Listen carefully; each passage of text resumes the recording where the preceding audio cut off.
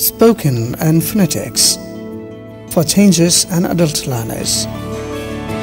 Mental Health, page 127. Conversation 1 I feel sad.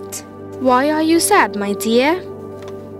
Conversation 2 I'm scared at night. I'll stay with you. Don't worry. Conversation 3 I can't sleep well. Let's create a bedtime routine together. Conversation 4 My friend is mean. How did that make you feel, sweetheart?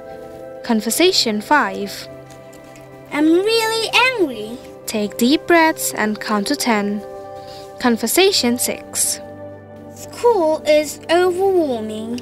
Let's talk about what's bothering you. Conversation 7 I'm feeling very anxious. Take slow breaths, it will help calm you. Conversation 8 I'm feeling lonely. Let's plan a play date with your friends. Conversation 9 I'm feeling stressed out. Let's take a break and do something fun. Conversation 10 I'm feeling so tired. Maybe you need more rest, my love. Conversation 11 I'm worried about a test. Let's study together and do our best. Conversation 12 I don't like my body. You are beautiful just the way you are.